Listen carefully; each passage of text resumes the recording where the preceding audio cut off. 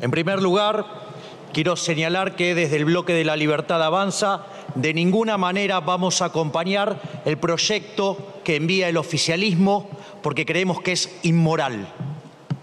Si bien es cierto que es necesario un ajuste del mínimo no imponible, eso no amerita ¿sí?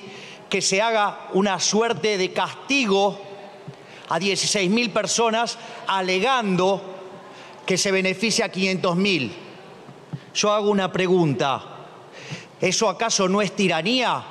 ¿No es lo mismo que sentar a cuatro lobos y una gallina y que voten a ver qué comen hoy a la noche?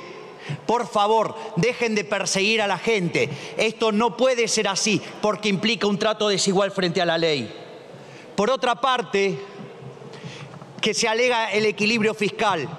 No es cierto que si tengo que bajar impuestos voy a tener que subir otros para mantener el equilibrio fiscal. Les cuento algo, existe la reducción del gasto público. Dejen de joderle la vida al sector privado con impuestos y empiecen a bajar el gasto público para que este país pueda salir adelante de una vez por todas se van las empresas, se van los jóvenes, es decir, todos los que producen se van, se quedan solamente los que parasitan al sector privado productivo. Por lo tanto, por ser absolutamente inmoral, nosotros no vamos a acompañar este proyecto. Muchas gracias, señor presidente.